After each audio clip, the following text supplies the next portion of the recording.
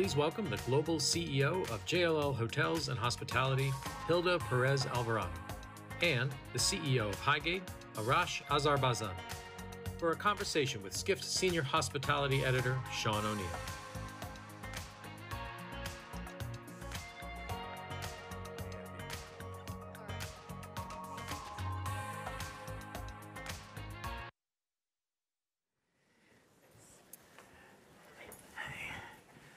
So, Hilda, you've been on a world tour for the past month. Uh, you've been talking to a lot of uh, hotel investors and uh, owners. So, what's been on their minds? Oh my God, everything. Where do we start? Um, obviously, the headwinds that we're facing right now. So, we just heard in the other panel inflation, labor issues, uh, supply chain issues with what's happening in China right now, geopolitical tensions. But, that, but at the same time, they're trying to make sense of this great return and change in consumer behavior and the fact that we don't see travel pulling back just yet. So just trying to, to look into their crystal, crystal ball, but they're asking all the right questions. Okay. Uh, you, in the past couple of years, you've uh, coordinated the sale of some very high profile assets. Uh, and then in light of the past few days, we have the sale of uh, Brookfield uh, buying uh, for $3.8 billion in cash, Watermark, a hotel REIT with your eye on what's popular in the market, what kind of attributes of portfolios are pretty particularly attractive right now?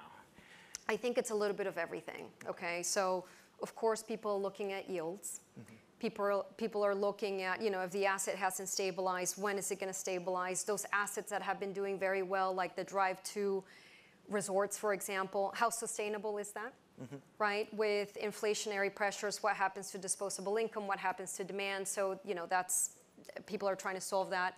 I think we have a much uh, better bet on the return of corporate travel. So people are starting, investors are starting to look at urban assets that have that weekend leisure component. So that's interesting.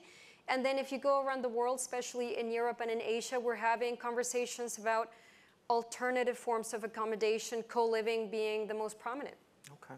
So we heard earlier uh, Steve uh, Hafner from Kayak and Tyler Morse from MCR. They had a little bit of debate. Uh, Steve, is a bit more bullish that some of these consumer behavior trends are more durable.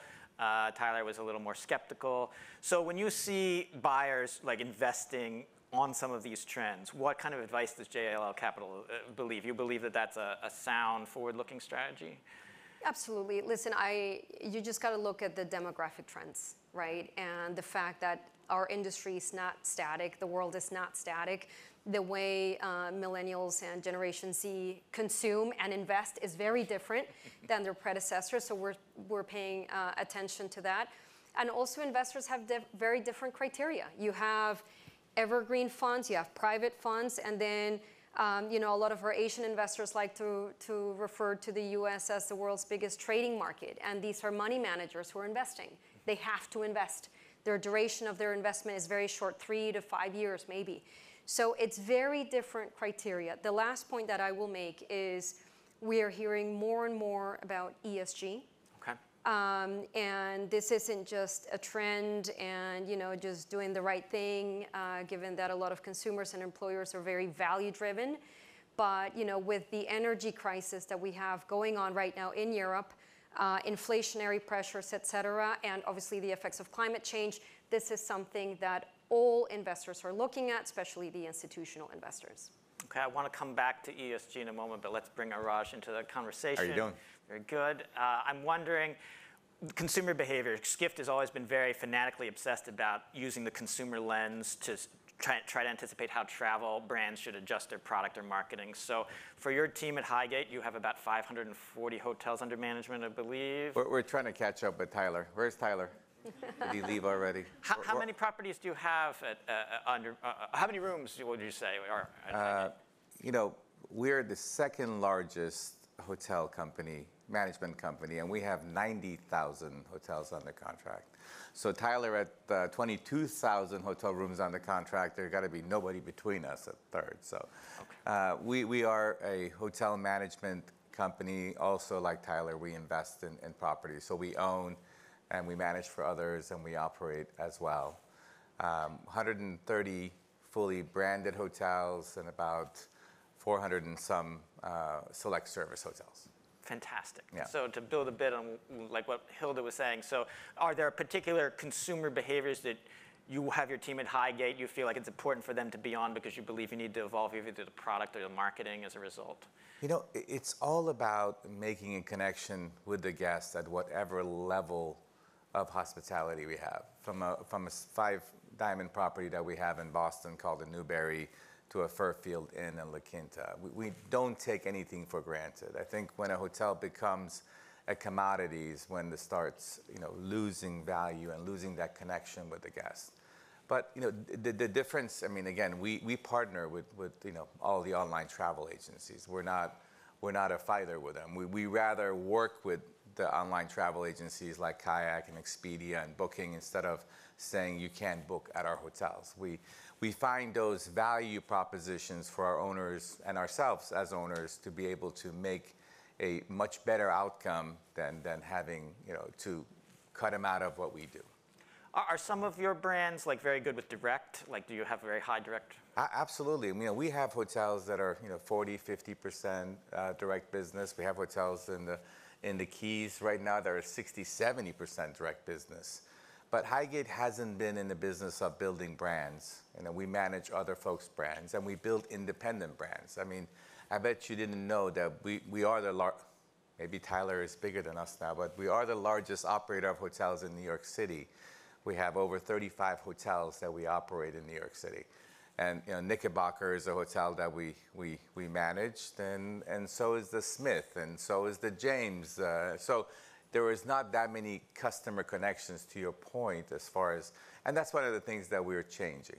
We want, so I've, we've noticed at Skift that there seems to be more business-to-business branding of Highgate itself. So usually at hotel conferences, we're talking about uh, consumer-facing brands like Four Seasons, but this is like Highgate branding. So what's the strategy there? Yeah, you hit it on the head. When I joined Highgate, I mean, we all in the industry know Highgate. I mean, people outside, our customers don't know they're checking into a Highgate managed hotel.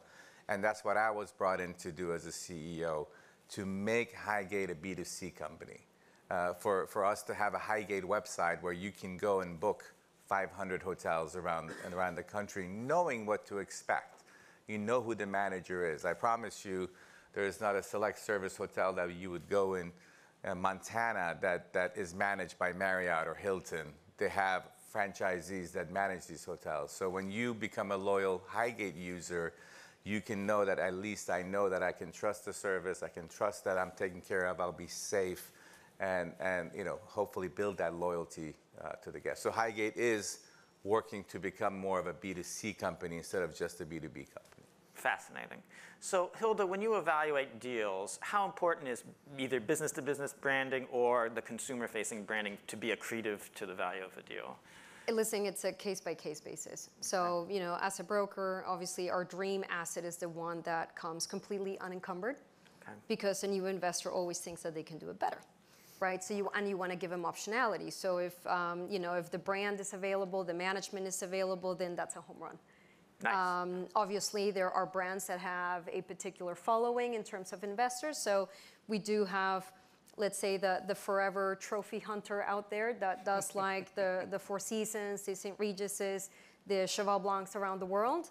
Um, and then there's, you know, the more commercial, uh, the, the more commer- commercial investor that will invest in everything else. But for us, the best is optionality. Is the market distorted by some of those investors?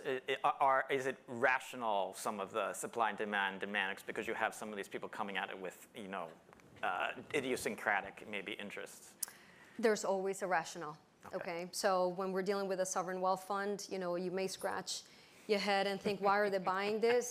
Trust me, there's always a reason. Okay. There may be a geopolitical reason for doing a deal. There may be another strategic reason for doing a deal. Um, all you got to do is, you know, get to the source of, of the money, whatever it is, it will make sense. Uh, for a lot of these forever owners, private investors, they're looking at wealth preservation.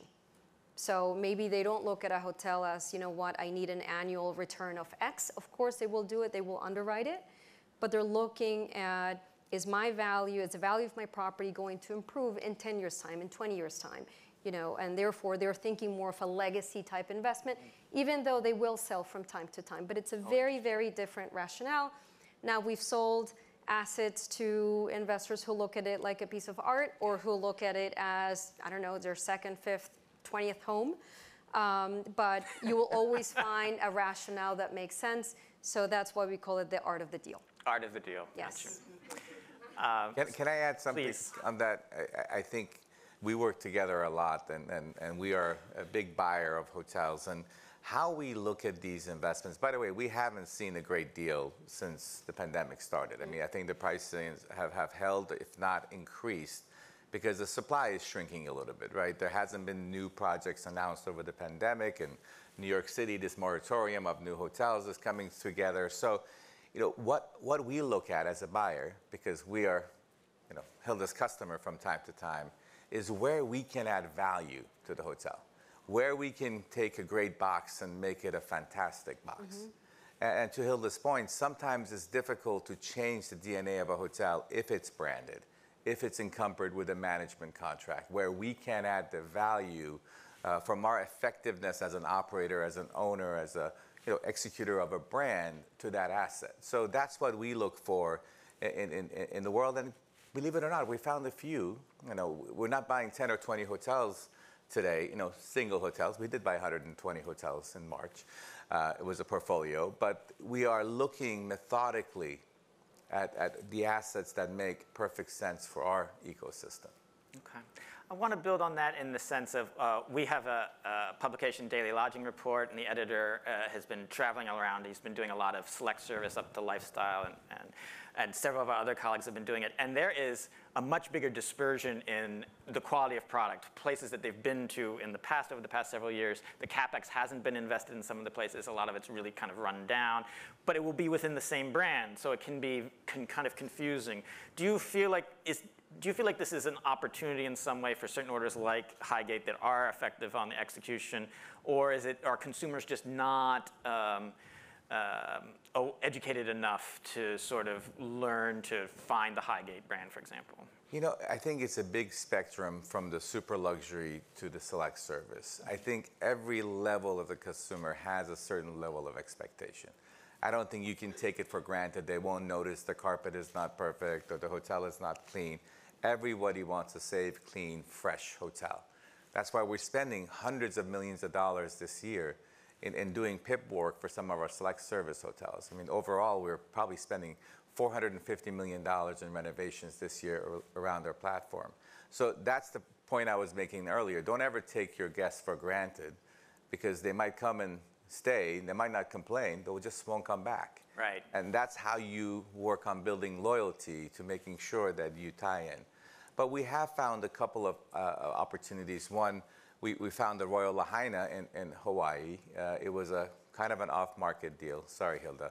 uh, we bought that in, in, in, uh, in Hawaii and in Maui and have doubled the NOI in, uh, we bought it in December, and it wasn't. It was not well managed, but we brought the power of Highgate, the revenue management. They were afraid to charge rates, and like Tyler said, you know, we shouldn't be afraid to charge rates. This is an oceanfront property, beautiful accommodation. Every room has ocean views, and so those are the assets that we're looking for, where we can. In phase one, improve operation, and phase two, reposition, rebrand, spend 120 million dollars, and make it a world-class resort that Hilda can sell for us. Thank you.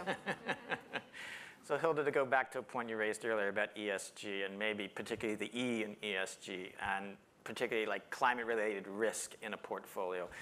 What is on top of investors' minds? Uh, you, you, you, know, it was topical at the conferences, you know, that you've, you've been at recently in both Asia and Europe, but then we saw the BlackRock has sort of said that in light of the events in Ukraine, they're not going to be backing so many shareholder resolutions that are climate focused. There's always this kind of uh, forward, back, forward, back motion. So what, what should hotel uh, investors and owners be thinking about about the, the, next couple of years? You know, I had a very similar reaction to what you just described when, you know, I was making sense of what's going on in Europe, right? And this energy crisis. And I said, wow, we've taken two, step forward, uh, two steps forward, now we're going to take three back. And actually, last week at the IHIF Hotel Conference in Berlin, it became even more pronounced that they had to focus on ways to manage their buildings in a more efficient way. Okay, so The E in ESG doesn't mean just, you know, is- it- it's not as simple as, oh, let me recycle and not change sheets and all that stuff. It's not that. It's making buildings energy efficient, Mm-hmm. right? The, the built environment is responsible for 40% of all carbon production worldwide. It's enormous. Hotels is, you know, the largest contributor to, to carbon out there because we're a 24/7 business. You know, we consume a lot of water, all this stuff. We're also a big employer, but we're not focused on the S right now. We're focused on the E. So when you have a massive energy crisis happening in Europe, of course they're focused on this. So that's one thing. It's more of a, a a, a survival, if you will, and also them focusing on, on profitability. One. Two, from an investor perspective, so let's looking at it, the, the pressure from the capital. Institutional investors, which are the, at the end of the day are the biggest investors in hotels, whether it's a sovereign wealth fund or a pension fund or an, you know, whatever, you name it, they are demanding, and I've seen those investment committee requirements that, you know, these investments be sustainable. And in fact, a lot of these groups are now looking at their portfolio and saying, you know what, these hotels or office buildings or commercial are not going to make it. They're too brown. We're going to dispose of them. We're going to keep these that are green or have the potential to be, you know, uh, net carbon zero in whatever uh, their time frame is. And now this is our, our buying criteria or our building criteria or our refurb criteria. So the institutional money is demanding this, okay? And by the way, the institutional money is the one that feeds the Blackstones, the Starwoods, the Brookfields, right? They're, they're fund managers at the end of the day. And then you take the consumer side. When Booking.com is now telling you that in addition to this being a 4.8 uh, star hotel or whatever it is, that these are the ratings, they're now giving you an ESG rating right? And so again, going back to the consumer behavior, what the Generation Z wants, what the millennial wants, they are looking at this. So there's no hiding. and I know here in the US, obviously, our biggest uh, area of focus is uh, what's happening with interest rates, inflation. In Europe, you have this massive geopolitical issue. And then in Asia, they're obviously focused uh, on the fact that the second biggest market in the world is locked down. Um, I can tell you again, in those two, in Europe and in Asia, this is everything everybody talked about. And it's coming our way. Right. It's coming our, again, we are money managers in the US. The money is going to be demanding that we focus on this area. So it's enlightened self-interest to get on top of this issue. 100%. And the Ascott Residence Trust had released the first green bond, is that Mm-hmm. right? How significant is that as a, a harbinger of what's to come? Listen, it was great. It was oversubscribed, proof of concept. They're thinking about, you know, what to do next. We were with them right now. We actually had uh, some of our team members in Singapore who had actually subscribed to this. So, yeah, this is coming. Cool. This is coming. So Arash, I want to go to a tech question, please. So we had uh, Tyler uh, from MCR. He's invested in a hotel uh, startup. We had Steve Hafner of Kayak. They invested in Lifehouse, another hotel startup.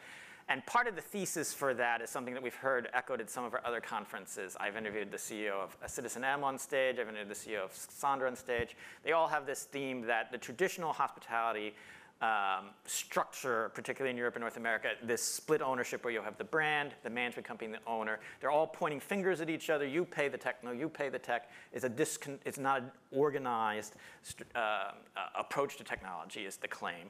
So, do you believe that Highgate has sort of like a structural disadvantage, one arm tied behind your back, when it comes to being sure that you're on top of uh, the technology trends compared to some of these new uh, startups that are out there? I, I don't think so. I mean, uh, Tyler manages as many branded hotel as independent hotels, and his hand is tied just like mine on some of the challenges that we're having with some of these big hotel companies, and they're all working, spending millions, if not hundreds of millions of dollars in upgrading their technology and bringing it to where we are. I, think for us, we invest in, you know, we have a full technology company that's separate and a subsidiary of Highgate that we have invested in over 15 different tech companies over the last three, four years. And we continue to go and find the next great things from, you know, uh, the, app that is now available and it's a native app that you don't have to, you can download one app and use it at any hotel instead of having 20 different apps for 20 different hotels. So we are beta testing a number of different uh, solutions. But you know, Jacob asked a great question. You know, what technology makes a great hotel a fantastic hotel? I think the key is giving the consumer the choice. Because if you become too tech savvy, that you know some people still want to have a key to open their door, right? If the key is not available and you're so tech forward, you're going to lose some of those customers. I think that's what we're trying to do in our company is giving you the choice. But at the end of the day, this technology does become big brother, right? So we will follow your habits. We will understand what you ordered on room service, what time you ordered on room service, what was the problems you experienced with the room before. Did you ask someone that you know this was wrong or what great things happened? And with that, we can try to curate your stay the next time. So we're not using that information to become NSA, but we're using that information to build to make your next stay more pleasant. And, and remind you, so sorry you had an air conditioning problem last time you were here. We made sure you're in a room that air conditioning works perfectly and quietly. I mean, that doesn't make a difference for you, right? That someone recognized that you had an issue last time you were here. So I want to build on something Hilda had brought up, which is that in the North American market, uh, uh, issues about inflation, interest rates. So you have at Highgate, you know, uh, for the inputs for growth, you have cost of capital, you have uh, the cost of operations. So are you recalibrating at all because of current changes? You know, like um, the panel before me said, we don't see a recession coming for the travel business. Our, pace has been better than we have ever seen it. I mean, our, our growth as of May, May 9th, we had meet, met our budget for the entire portfolio of room revenue. Usually it takes you by the 20th or 21st for you to get there. The trend has been super positive. Length of stay for us has improved. We have even seen some international travelers. We're not at 80% corporate travel yet, but we're around 40, 50%. But the, the, the, the concept of leisure has started, right? It's, it's leisure and business together, like your analyst was talking about, and we're seeing a lot of that. So because of that, we haven't made any any cuts or any layoffs, or we are actually hiring and bringing people on to get ready for the summer. We think this summer is going to be the best summer we've ever had. Now, fourth quarter, you know, God knows what happens with inflation and the stock market and the war and the supply chain and energy crisis, name it. We got everything coming. But I think this summer is going to be fantastic. We're just keeping a close eye on the fourth quarter to see how uh, travel trends uh, are impacted. But I'll make one caveat to that. You know, so far, because we've had this great demand as everybody's coming out of their, you know, constraints, um, the water, you know, the tide has lifted all boats. I think now that that, you know, great return happened, if you will, and people took that dream vacation that they were saving for for two for two years, the consumer is going to become more discerning. And so they will not accept, to your point, I think you make this earlier, if the hotel's not renovated mm-hmm. if the service is subpar. And so not all hotels perform equally. The, those that, you know, where the owners have been great stewards and they've been investing in infrastructure, they're going to do absolutely fine. Those that are offering something unique, those curated experiences, they're going to do fine. Is the un, um, lack of differentiation, tired properties that maybe they, they got away with it last summer or they got away with it earlier this year, they're not going to get away with it anymore, right? And so we will see those prices drop. Um, maybe those buildings get converted to something else, who knows? But you will definitely see a very clear divide between winners and losers going forward. When the tide goes out, we'll see who's been swimming Absolutely. naked. Yeah. So, so let's talk about the global level, please. So for cities worldwide, which cities are sort of getting it right and making it for hospitality companies? any that invest in infrastructure and have the demographics for it. So, you know, you have, I'll give you just two, two examples here. Obviously, Miami is, uh, I live there now. It's incredible what they've done. They've repositioned themselves as now a tech hub. Obviously, the mayor's, a, mm-hmm. absolutely, yeah. um, or crypto tech, everything uh, cool. Um, you know, it's a great quality of life. You have a lot of wealth that has moved from the Northeast and elsewhere, by the way, to South Florida. It's got fantastic infrastructure. I think you know the, their growth is very sustainable. You take a city like New York, New York's going to be perfectly fine. And in the last few years, we've seen tremendous investment in infrastructure. You land in LaGuardia now, it's a pleasure, right? It's nice. Penn Station is actually nice. Which terminal were right? you at I, LaGuardia land, I got lucky. I landed in a very nice The other terminal day, today. it took me two and a half hours just to get out of the You're, terminal. get, you're going on the wrong side. You know, but my point is they're investing in infrastructure. And, you know, everybody in the world wants to come to New York City. So you're always going to have that. It's, it's a talent magnet. London, it's the same thing. You go there, the city is booming. The energy is amazing. In fact, retail works. You know, it's not like some of the stores that we see on Fifth or Madison Avenue that are so depressing, locked in. No, no, everything works in London. And it's the world's evergreen city and the world's evergreen investment destination. You take new cities like Madrid, another one, Berlin. Again, they've invested uh, and they've repositioned themselves during the pandemic and so on and so forth. There are cities that sadly are falling behind, that have not invested in infrastructure, that have social issues. I'm sure you can all guess which ones those are. I am concerned about those cities from an investment perspective. Okay. And uh, we have uh, some audience questions. So from David, uh, this one I think Raj might go for you. is If consumers are members of all our most loyalty programs, which is a point Yeah. brought up in the last panel, uh, do portfolio management companies expect that they'll develop their own uh, one password data uh, to retain these customers? Maybe I'm getting that. First party data, I'm sorry. Yeah, first, I, I think it's, it's difficult to have one sole source holder of uh, loyalty points. But I was, I'm going to put a plug in for, uh, for Expedia. Now, I hope Tyler is not in the room. But they just, sta- oh, Oh, shit, is. Tyler is here. Uh, but they just started a loyalty program, which, you know, we helped and we're partnering with them on. That is a sole source loyalty program that you can put your, book your, use your loyalty points for airlines, for hotels, for car rental. And I think that's the wave of the future where people want to be able to have a sole source solution. You know, we, we start, we're starting our own loyalty program. It's more recognition program, it's more reward program, it's more getting to know our customers better. But we can't, you know, start fighting with the Marriotts and Hyatts and Hiltons of the world. I don't ever, I don't see it in the near future, in my opinion, that there's going to be one program that's going to encompass all of that because that data is proprietary and these companies can't share that data with others. So um, I'm not recommending you all go on Expedia to book. Please go direct to your hotels and book. But if you wanna, if you want to, you can always use that source as well. Okay. Lightning round question, Hilda, from Margaret on the ESG front about labor. Is labor something that either activist investors or the shareholders, the BlackRocks of the world, care about, and you're seeing that's bubbled up in any markets in the world? Yeah, for sure, a little bit, but they're more focused on the labor issue as a profitability issue right now, okay? Um, when, we're, f- when they're focused on the S, is more what contribution do they have in the immediate community with it, where they serve. Now, um, you know, it is linked. Uh, one out of every 10 jobs are held in the travel and tourism industry worldwide, so we are one of the biggest employers of people. And it so happens that most 70% of those people are women. So yes, they will be rewarding, um, you know, staff retention, et cetera. But, you know, obviously, uh, people do have very good muscle memory. We have to put humanity and uh, dignity back into hotel jobs. You know, I'm a firm believer of that. And again, because so many of these laborers or workers are women, uh, we absolutely need to do a better job at paying them fair- fairly, offering them a career path and job security. So yes, those who do it are going to do fine.